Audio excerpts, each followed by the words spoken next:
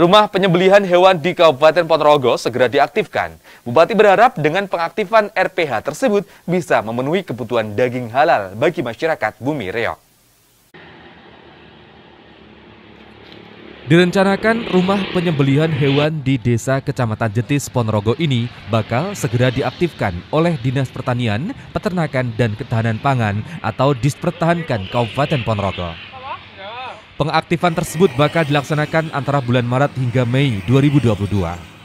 Bupati Ponorogo Sugiri Sancoko mengatakan, pihaknya mempunyai tugas untuk memperbaiki bangunan yang merupakan bekas peninggalan Bupati Amin tersebut. Nantinya, RPH ini tidak hanya fokus akan kesehatan, namun juga harus menekankan nilai halal sebelum dikonsumsi masyarakat. Masa lalu, tapi tidak boleh menampar muka masa lalu. Maka hadirin yang saya hormati, tugas saya adalah bagaimana menyelesaikan sesuatu yang terduga. Nah, memang kami punya kewajiban agar RPH itu menjadi baik. Begini ya, tidak hanya sisi bisnis saja, tapi bagaimana kami bisa menyajikan daging sapi di Ponorogo ini halal secara kesehatan, halal secara agama. Kemudian pemerintah bisa hadir. Kalau kemudian dipotong di rumah masing-masing, saya tidak bisa hadir dong apakah ini sehat secara kesehatan, apakah ini halal secara pemotongannya, kami tidak hadir. Maka makan halal tidak hanya dilihat dari sisi itu, tapi juga kebersihan.